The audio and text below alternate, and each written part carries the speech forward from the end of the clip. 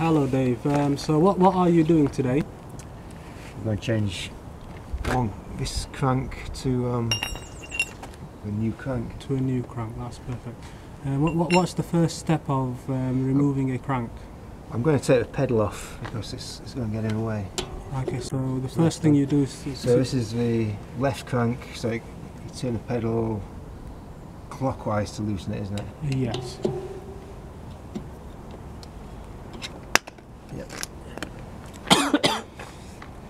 Okay, and and then what's the next step for? Uh, the axle bolts, got to take that out. You have to take the axle bolts. That's perfect. That's a normal threaded bolt, so you're going to go anti-clockwise to unscrew it, and it's going to be quite solid usually. So it would What- take quite a lot of strength. Yeah. What what about the right? Is it the same way for both sides? Yeah, the ankle, uh, axle bolts are just um, normal threaded bolts. Okay. And in the meantime, while while you're doing that, um, could you tell us what tools you'll be needing for the whole process? Uh, pedal spanner, um, crank bolts, um, hex key, depending on what kind of crank bolt you've got, but this is um, kind of hexagonal Yes. bolt. So that's out now. And this is jammed on solid, so you're going to need a special tool, which is the, um, the crank extractor. That's perfect. This is ISIS crank extractor because these are ISIS Cranks. splined cranks. Yeah, Um, that's very good. And how does the ISIS extractor, crank extractor work? the camera. Yeah, I'll just bring the camera. Okay. This is the crank. This bit here is the axle bolt. This tool, it's a special shaped end to match exactly, goes down the whole of the crank, missing it entirely, pushes against the axle bolt. So when I screw this into the crank, take this out as far as it can go. This screws into the crank. I can then put pressure on this, tighten it up, and it'll push against the axle bolt and bring the crank out with it. Okay. So let's have a look. Does that, does that make sense? Yep. Very good. So be very careful to make sure it goes in properly, don't cross thread it. It should be nice and loose until it gets almost to the end.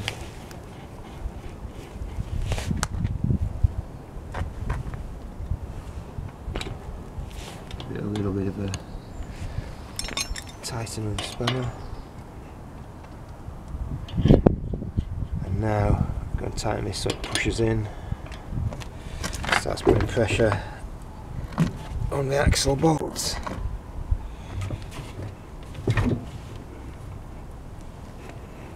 And if you bring the camera around here, you can see. You shoot it onto the. You'll see the crank start to move.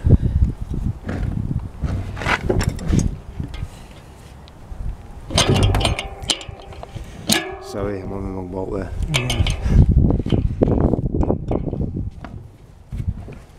Right, you should see this crank start to edge out. Yeah, it's coming now. It's loose. And there it is. It's come off. What is that? I think that's just a spacer.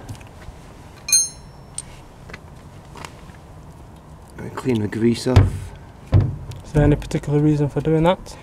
just so I can put new grease on. Okay. Clean grease. And you definitely have to put grease on before you put the new crank on. Um, it's mainly to um, make sure it seats on properly. Okay. So there's grit and dirt on there. Just take this out. Well, I'll, I'll sort it out later. Um, yeah, new grease. And what and what what grease are you using? It's actually Vaseline. Okay. So Vaseline is more. What what other gre- what other greases can be used? I don't, uh, I don't know. Um, some kind of motor grease probably, but I've always used Vaseline because yeah, I don't have a workshop. I don't have loads Yeah. of different kinds of oil and stuff. Okay. And that is good because the everyman.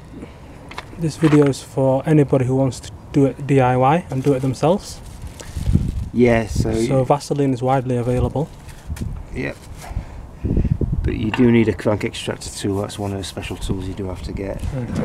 Okay, I'm going to make sure this is at 180 degrees to the crank because it'd be very easy to put it on like that and then realise afterwards that um, you've got a unicycle. That is very wobbly. Okay, so that's a very important point.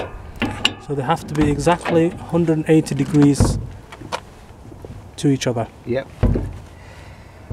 And then you got to hammer it on a little bit, and the best way to do that would be some protective rags and a wooden mallet. But I have neither of those, so I'm going to use. Um, can use a hammer Okay. with some cloths on it, Yep. or I'm going to just use this hatchet because it's got a bit of. Yeah. Padding. So a combination of the grease and tapping it should seated. And final thing.